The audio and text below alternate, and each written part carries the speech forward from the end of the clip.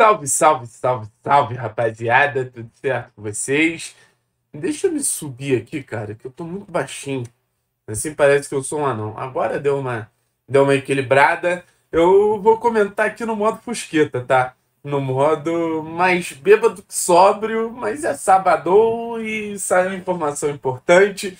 Informação que a gente já tinha, mas não pode soltar em primeira mão, porque a gente quer preservar o Atlético, mas a informação acabou vazando e a gente vem aqui comentar, a gente vem aqui analisar em relação a Agostinho Canóbio, que existia uma expectativa de Agostinho Canóbio ficar fora do time do Atlético por 10 ou até mesmo 15 dias, mas Agostinho Canóbio fez um tratamento intensivo, o técnico Cuca fez questão que Agostinho Canóbio estivesse no jogo contra o Palmeiras e Agostinho Canóbio vai para a Arena Barueri ajudar o Atlético. Em um dos jogos mais difíceis desse Campeonato Brasileiro e um dos jogos mais disputados desse Campeonato Brasileiro, o confronto contra o Palmeiras, que a gente sabe que em algum momento vai se colocar entre os principais times do campeonato. Palmeiras é aquilo, vai começando devagar, devagar, devagar, quando você vê já é líder da competição e um time que vai tirar ponto de basicamente todo mundo. Então a gente vai para a Arena Barueri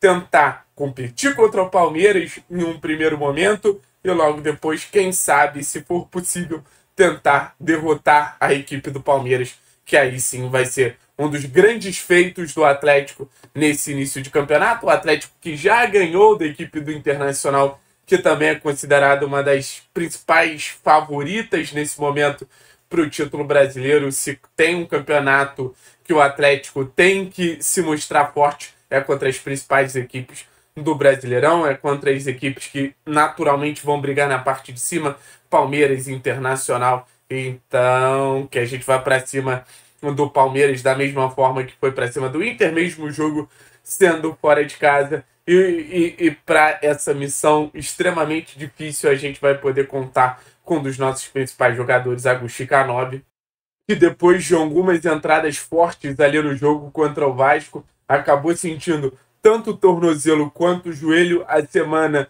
que o Atlético acaba mandando um time alternativo para enfrentar o Raio Juliano foi muito importante nesse processo de recuperação em relação ao Agostinho Canóbio e a outros jogadores titulares que vão descansados para esse confronto contra o Palmeiras. Lembrando que o Palmeiras usou o seu time titular no confronto da Libertadores contra o Liverpool do Uruguai e agora o Atlético vai poder ter seu sistema ofensivo completo. Existia uma dúvida se jogaria com o Esquivel como ponta, se jogaria com o Julimar, mas no final das contas o Canobi se recuperou a tempo e agora o técnico Cuca pode montar um time com Bento no gol, com Godoy na lateral direita, aquele time bem tradicional do Atlético a gente sabe, e com Agostinho Canóbio ali pela ponta esquerda. Vamos falar sobre o impacto do Canóbio, vamos falar sobre como o Canóbio pode nos ajudar junto a esse time titular do Atlético e quanto o Atlético ganha com essa adição ao time titular de um dos jogadores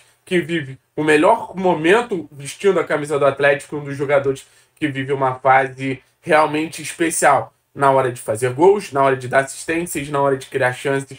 O Canobi vem sendo é, relevante em todos esses processos ofensivos é, junto ao time do Atlético. Então, a gente sabe que o Atlético deve ter Coelho pelo lado direito, o Zapelli centralizado, o Pablo mais à frente, Canobi pelo lado esquerdo, só que é muito difícil hoje você definir uma posição para Agostinho Canobi. Agostinho Canobi é talvez o jogador do sistema ofensivo do Atlético que tenha mais liberdade para atuar em mais zonas do campo. Talvez Agostinho Canobi seja o jogador com mais liberdade para entender aonde o jogo está precisando dele e ele vem fazendo isso com muita qualidade. Se o jogo se concentra pelo lado esquerdo, o Canobi sai é, da posição dele, vira um ponta esquerdo. Se o jogo se concentra pelo lado direito, o Canobi vai lá para o lado direito ajudar. Se o Canobi se, se o jogo se concentra na zona central, o Canobi é muito importante, principalmente ali nas interações do Bruno Zapelli, Agostinho Canóbio, que eu acho que é o jogador que o Canóbio vem interagindo melhor, vem associando melhor. Então, dá para dizer que é um Canóbio 3 em 1, ou às vezes até 4 em 1. Quando precisa ser ponta esquerda, sabe? Quando precisa ser armador, sabe? Quando precisa ser ponta direita, sabe? E até mesmo na hora de assumir uma posição no comando de ataque, também sabe. Por isso que o Agostinho Canóbio vem sendo tão importante. Mas eu quero chamar atenção para Agostinho Canóbio jogando mais numa faixa central. Que é a partir dessa faixa central que dá para sentir Agostinho Canóbio mais confortável. Por quê?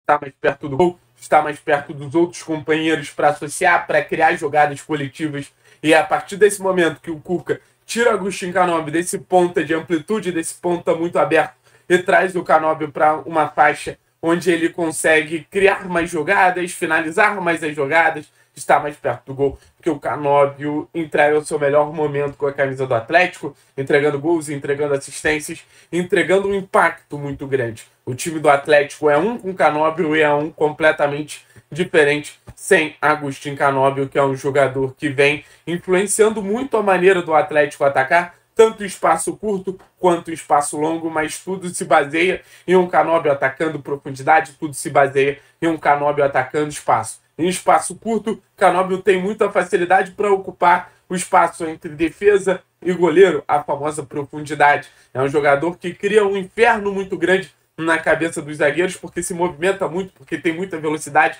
porque tem muita aceleração em espaço curto. Agostinho Canóbio também vem sendo muito importante. Eu acho que isso mostra muito a evolução do jogador uruguaio com a camisa do Atlético. Não é um jogador condicionado a só um cenário, é um jogador que se adapta, que tem capacidade de influenciar mais de um cenário, um jogador que tem capacidade de influenciar de formas diferentes. Então, a, a, a possibilidade de utilizar o Canóbio contra o Palmeiras deixa o Atlético um time mais forte em um jogo que eu tenho certeza que o técnico Cuca quer ter força máxima, porque é um jogo que o Atlético pode demonstrar sua força, é um jogo que o Atlético pode demonstrar sua capacidade competitiva, é um jogo que o Atlético pode demonstrar sua capacidade de se impor contra um adversário tão forte contra o Palmeiras. Bruno Zapelli vai ser muito importante, o Fernandinho vai ser muito importante, o Pablo vai ser muito importante, mas eu acho que o Atlético não poderia para esse jogo sem um dos protagonistas da temporada, que é Agostinho Canóbio, que vai se movimentar, vai pressionar, vai fazer o jogo dele sempre muito intenso, sempre muito louco. E o Atlético tem ali as suas principais peças para se manter na liderança do Campeonato Brasileiro, tem suas principais peças para enfrentar um dos principais adversários da competição. Acredito que o Canóbio vai ter ali um papel muito importante se movimentando, ainda mais pelo fato do Palmeiras não ter o Murilo, que é o zagueiro de mais mobilidade. Luan e Gustavo Gomes, zagueiros mais experientes, zagueiros mais fixos, que a movimentação do Canóbio pode incomodar muito uma das principais zagas do futebol brasileiro. E é isso que o Atlético precisa. Canóbio saindo do lado, vindo para dentro, se movimentando, fazendo o time do Palmeiras criar situações de desconforto. Ou o Atlético criar situações de desconforto para o time do Palmeiras, mas o nosso Diabo Louro oferece isso. Muita movimentação, muita dinâmica na frente, muita intensidade na frente e o Atlético vai, podemos dizer assim, com força máxima. Não tem o Thiago Helena ainda, mas acho que o Gamarra substitui bem, então vai com força máxima para substituir é, ou para se impor contra um dos principais times do campeonato brasileiro, que é a equipe do Palmeiras. Estou ainda mais animado com a presença do Canóbio e estou ainda mais animado para continuar bebendo. Então a gente vai entregar esse vídeo, daqui a pouco a gente volta pro bar. Tamo junto, é nóis, rapaziada. Se lembra que amanhã a gente já vai fazer a live em Niterói, aí vai ser o Thiago corretinho, aí vai ser o Thiago disciplinado. Mas hoje vamos terminar de aproveitar Minas Gerais.